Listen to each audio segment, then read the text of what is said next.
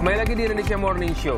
Pasca ditetapkan sebagai tersangka dugaan korupsi dan menyerahkan diri ke KPK, Wali Kota Blitar Muhammad Saman Hudi Anwar ditahan. Ya, pasca terpilih menjadi anggota Dewan tidak tetap eh, DKPBB dan Indonesia ini akan fokus memerangi segala bentuk terorisme dan ekstremisme. Indonesia resmi menjadi anggota tidak tetap Dewan Keamanan PBB periode 2019-2020 mewakili wilayah Asia Pasifik menggantikan negara Kazakhstan yang berakhir masa jabatan pada tahun ini. Dari 190 anggota PBB yang hadir, Indonesia mendapatkan 144 suara, mengalahkan Maladewa. Setelah terpilih, Indonesia juga menyatakan empat komitmen untuk jabatan yang akan dipanggul hingga 2020.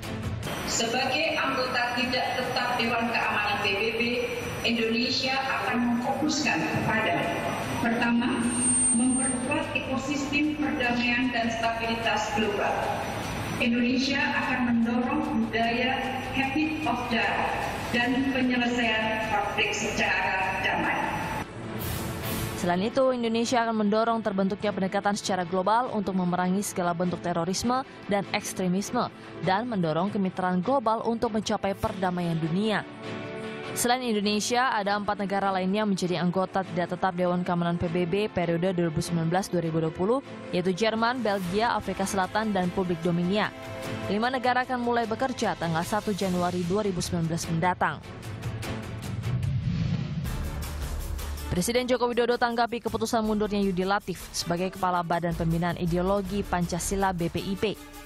Presiden mengapresiasi keputusan tersebut dan menampik jika mundurnya Yudi Latif terkait polemik hak keuangan yang belakangan mencuat. Saya kira apa kerja keras Pak Yudi Latif serta integritas beliau tidak perlu diragukan lagi.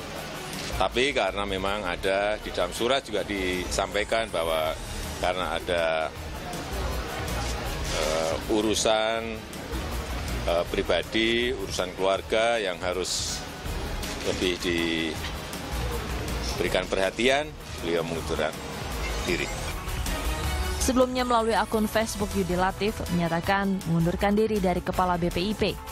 Yudi Latif berada di bawah Dewan Pengarah yang diketuai Megawati Soekarno Putri. Sebelum menjadi badan setingkat menteri, BPIP merupakan unit kerja Presiden pembinaan ideologi Pancasila yang dibentuk Juni 2017 lalu. Peraturan KPU tentang pencalonan anggota DPR, DPD, dan DPRD menuai polemik. Hal ini terkait norma larangan mantan terpidana kasus korupsi mendaftar sebagai calon legislatif.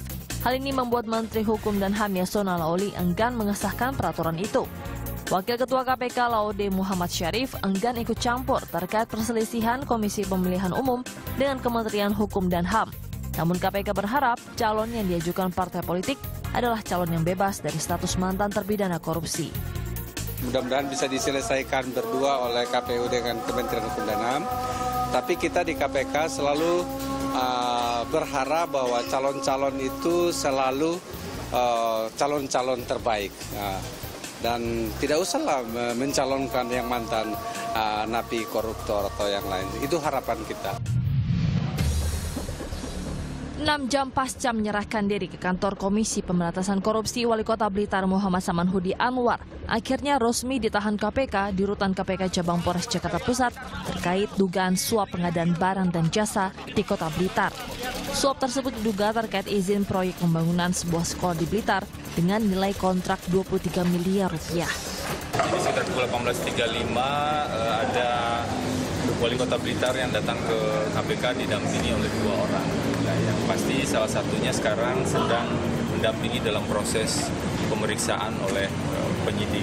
Kami hargai penyerahan diri ini dan tentu saja sepatutnya penyerahan diri ini akan lebih baik juga dilakukan oleh Bupati Tulungagung yang juga sudah kita tetapkan sebagai tersangka. Diharapkan hal serupa juga diikuti oleh Bupati Tulungagung Syari Mulyo yang masih tidak diketahui keberadaannya.